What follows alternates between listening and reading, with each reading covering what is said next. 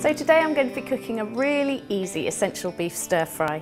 I've already started by cooking some essential long grain rice, 300 grams into a pan of cold water. Just bring that up to a simmer, then pop the lid on and let that simmer away for about 10 to 12 minutes. So while that's cooking, I'm going to start my stir fry. I've got a tablespoon of oil already heating up in my wok here.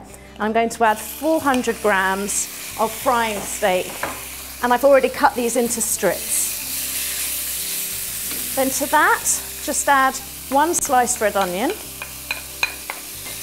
and give that a good stir fry so it picks up lots of colour and that'll give your stir fry lots of flavour.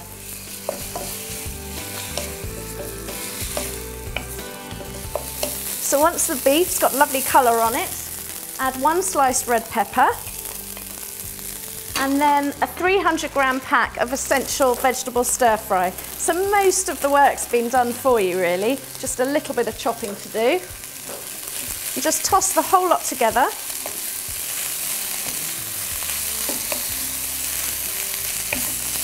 Once that's mixed through, you can add a little bit more flavour with two tablespoons of soy sauce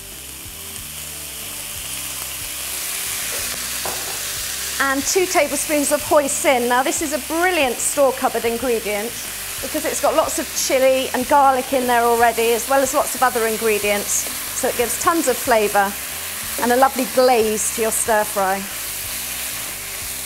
And then it's ready to serve with your cooked rice.